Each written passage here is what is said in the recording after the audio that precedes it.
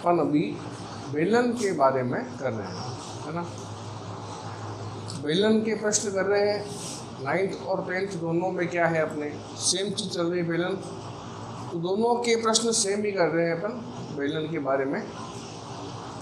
जो प्रश्न बुक के हैं, वही प्रश्न कर रहे हैं प्रश्न को पढ़ेंगे पहले और उसको हल करेंगे। वीडियो ध्यान से देखा करो। जो चीज़ समझ में न आए वो हमसे पूछा करो। समय का उपयोग करें। अगर वीडियो पसंद आए, हमारे चैनल को सब्सक्राइब करें और बेल आइकन दबाएँ। ध्यान रखना अगर वीडियो पसंद आ रहा है तो आगे शेयर करें और चैनल को सब्सक्राइब करें। तो प्रश्न पढ़ेंगे। प्रश्न में क्या लिखा हुआ है? एक बेलन के सिरे का क्षेत्रफल एक सेमी स्क्वायर है। क्या दिया हुआ है?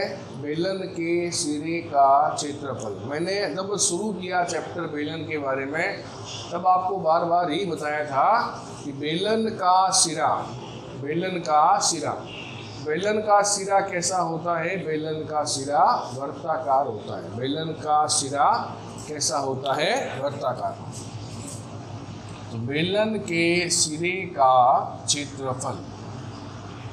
बेलन के सिरे का क्षेत्रफल। बेलन का सिरा कैसा होता है? बेलन का सिरा वर्ताकार होता है, याद रखना। बेलन के सिरे का क्षेत्रफल, बेलन का सिरा कैसा होता है? बेलन का सिरा वर्ताकार होता है। तो यहाँ क्या आएगा? व्रत का क्षेत्रफल आएगा। ये क्या होगा? व्रत का क्षेत्रफल। बेलन के सिरे का क्षेत्रफल कह रहा है ना? ये बना लिया अपन ने बेलन।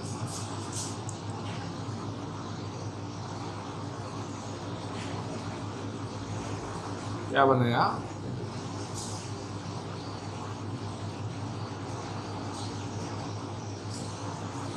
बना लिया बेलन बेलन के सिरे का क्षेत्रफल दिया। बेलन के सिरे का क्षेत्रफल। कितना दिया हुआ है?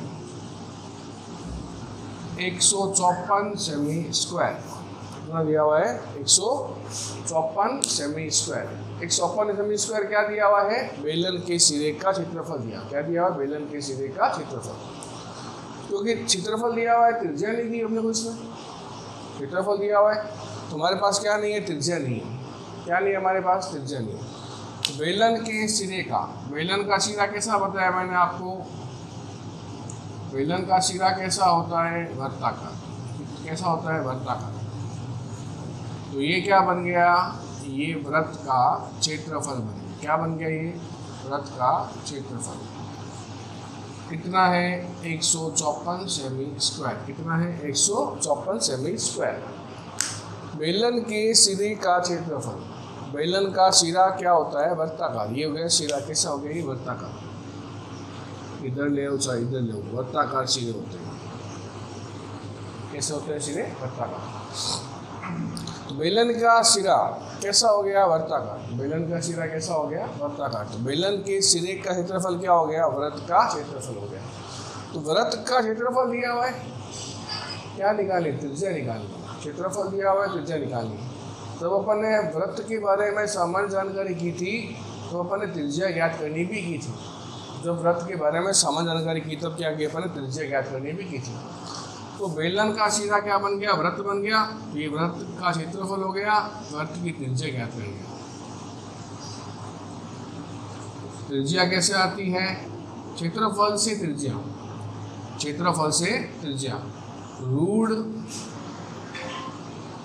व्रत का क्षेत्रफल बटा पाई। रूढ़ वर्त का क्षेत्रफल बटा पाई।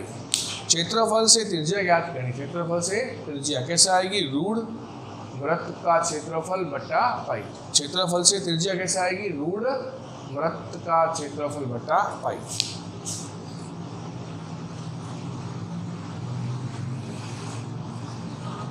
रूढ़ व्रत का क्षेत्रफल कितना है? एक सौ चौपन बट्टा पाई। पाई का मान कितना है? बाईस बट्टा सात रूढ़ वृत्त का क्षेत्रफल कितना है? एक सौ चौपन बट्टा पाई। पाई का मान बाईस बट्टा सात तो इस सात को ऊपर ले आएँगे। सात को ऊपर ले आएँगे। त्रिज्या आर बराबर। रूढ़ एक सौपन इंटू साठ बट्टा बाईस। सात को ऊपर ले आएँगे, क्या आएगा? एक सौ चौपन इंटू सात बट्टा बाईस। एक सौ चौपन इंटू सात बट्टा बाईस। बाईस से काटे एक सौ को। कितनी बार कटेगा? सातवा बाईस के बारह से एक सौ काट दिया, कितनी बार कट गया? सातवा कट गया। तो अब क्या बच गया? त्रिज्या बराबर। त्रिज्या आर।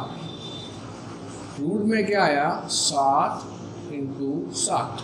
रूट में क्या आया? सात इंटू सात। रूट में सात सात आ गया। तो यहाँ सात कॉमन ले लेंगे घोड़ा बना के। तो त्रिज्या आर बराबर कितनी आ गई? सात। त्रिज्या कितनी आ गई सात आ गई त्रिज्या सात तो ये देखो, दोबारा देख लेते हैं इतना। प्रश्न में क्या लिखा हुआ था? बेलन के सिरे का क्षेत्रफल।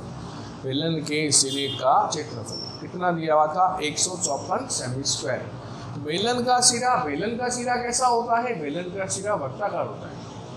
बेलन का सिरा कैसा होता है? बेलन का सिरा वर्ताकार होता है। यहाँ क्या आ गया? वृत्त का क्षेत्रफल। कितना आया? एक सौ चौपन सेमी स्क्वायर आ गया। क्षेत्रफल आ गया, त्रिज्या नहीं दी हुई, त्रिज्या निकालनी है त्रिज्या कैसे क्षेत्रफल से आएगी? रूढ़ वृत्त का क्षेत्रफल बट्टा पाई। त्रिज्या कैसा आएगी? रूढ़ वृत्त का क्षेत्रफल बट्टा पाई। क्षेत्रफल कितना है? एक सौपन बट्टा पाई का मान क्या है? बाईस बट्टा सात। सात ऊपर लिया इंटू में। तो क्या आ गया? एक सौपन इंटू सात बट्टा बाईस। बाईस से काटो सौपन कितनी बार? सात बार।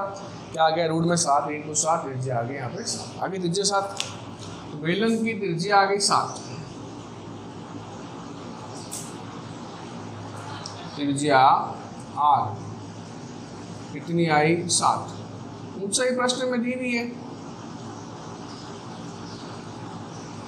कितनी दी हुई ऊंचाई? इक्कीस सेमी। ऊंचाई कितनी दी हुई है? इक्कीस सेमी। ये ऊंचाई होगी कितनी दी हुई है? इक्कीस सेमी। तो त्रिज्या सात सेमी है, ऊंचाई इक्कीस सेमी। ज्ञात क्या करना है? बेलन का आयतन। याद क्या करना है? बेलन का आयतन। त्रिज्या आ गई, ऊँचे आ गई, याद क्या करना है? बेलन का आयतन। आयतन। आयतन कैसे आएगा? Pi R square H. बेलन का आयतन। आयतन कैसे आएगा? Pi R square H. क्या होता है बेलन का आयतन? Pi R square H. याद रखना, बेलन का आयतन, पाई आर स्क्वायर एच। पाई का मान क्या हो गया? पाई का मान बाईस बटा सात हो गया। त्रिज्या क्या है? सात। त्रिज्या सात स्क्वायर है, स्क्वायर लगा दो। त्रिज्या सात सात का स्क्वायर। ऊंचाई कितनी? इक्कीस। यहाँ कितना आ गया? इक्कीस। आ गया?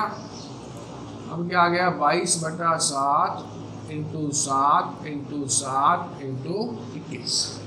बाईस बटा सात इंटू सात का स्क्वायर है। सात दो बार आएगा। सात इंटू सात इंटू इक्कीस। सात सात कट गया। क्या बच गया?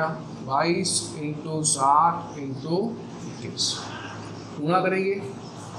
बाईस को सात से गुना करेंगे, एक सौ चौपन आ गया। अब एक सौ चौपन को इक्कीस से गुना कर लेते हैं। चार, पाँच, एक, आठ, तीस। चार, आठ, पाँच, तेरह, दो, तीन। तीन हज़ार दो सौ चौंतीस। घन से क्षेत्रफल आयतन है ना? क्या आएगी घन से क्षेत्रफल ऊपर क्या आता है? वर्ग तो यहाँ तो लिखा हुआ था, बेलन के सिरे का क्षेत्रफल। तो अपन ने ले लिया वृत्त का क्षेत्रफल। प्रश्न में कभी भी आता है कि बेलन के सिरे की परिधि या बेलन के आधार की परिधि, बेलन के सिरे की परिधि या बेलन के आधार की परिधि। तो जो भी क्या आएगा? क्षेत्रफल है क्या आएगा? उसमें परिधि आएगी। क्षेत्रफल लिखा हुआ क्षेत्रफल आएगा, वृत्त का क्षेत्रफल। अगर लिखा हुआ बेलन के आधार का क्षेत्रफल या बेलन के सिरे का क्षेत्रफल, क्या करोगे? फिर वृत्त का परिधि आ गया क्या करोगे? व्रत की परिधि, ठीक है? तो ऐसा प्रश्न करके देखना है आपको, हल करना है इसको, जो समस्या है वो हमसे पूछ लेना। धन्यवाद।